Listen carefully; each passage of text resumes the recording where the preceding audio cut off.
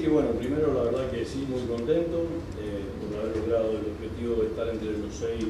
los seis primeros de, Centroamérica, que no es algo, es algo sencillo, y bueno, lograr un objetivo, habían dos objetivos, uno era seguir con vida en el torneo, y otro era clasificar a Contra Champions, y logramos, logramos uno de los dos. La verdad que muy contento eh, en ese aspecto por lograr el, objetivo y bueno, seguir trabajando para lo que, para. Sí, no darle vuelta porque le íbamos ganando a la, serie, si bien íbamos perdiendo un, tiempo de, los 180 minutos, la serie la íbamos ganando.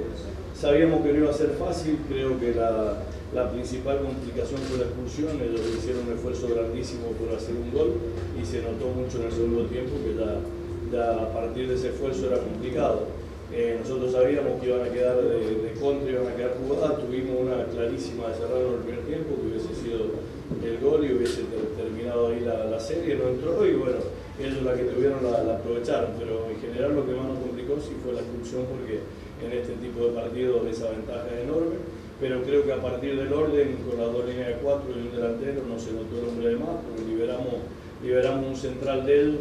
y ahí es bien difícil establecer esa, esa diferencia. No es sencilla y la verdad que los muchachos se mataron en la cancha, los que quedaron en la cancha hicieron un, gran trabajo. Primero contento, ser el único equipo hondureño era algo muy importante porque el año que viene vamos a jugar con, con, los, de, con los de México y con los de,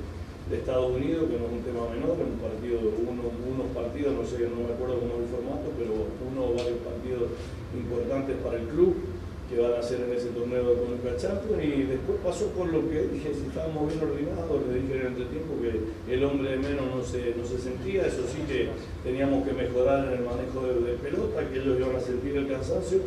y la verdad que se dio de esa manera, que nos iban a caer de contra porque si vos tenés un delantero y se cierran los extremos, eh, se nota poco el hombre de menos y creo que lo hicieron a la perfección con un golazo de, el golazo que hizo, que hizo Zapatilla y después con un un balón largo a la espalda cuando ellos fueron a buscar, que fue el penal.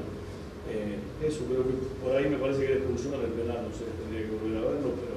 eh, pasó por ahí, por la convicción de los chicos, creo que hicimos una serie buenísima, un equipo que hizo más puntos que nosotros, por eso cerramos acá en el torneo, que es un gran equipo, eh,